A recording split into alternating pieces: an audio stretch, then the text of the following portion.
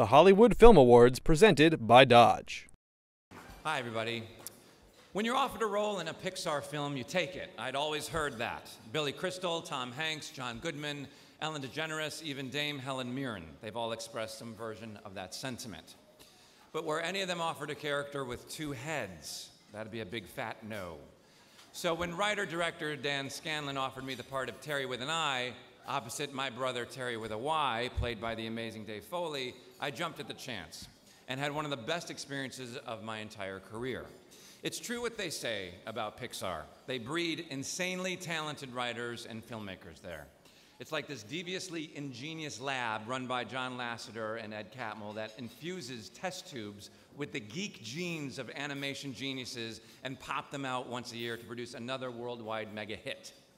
And I got to be part of just that kind of mega hit, this year's Monsters University, and the winner of the Hollywood Animation Award.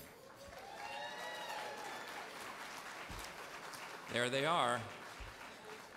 Dan and his tremendous producing partner, Kori Rae, led their remarkable filmmaking team to create a sensitive, funny, whip smart film recasting two of my favorite animated characters of all time, Mike and Sully, Billy Crystal and John Goodman. As the Chicago Sun-Times said of the film, there are times when the film is juggling so many different kinds of pleasure simultaneously that when it adds one more unexpectedly perfect touch, the whole scene seems to erupt like a string of firecrackers.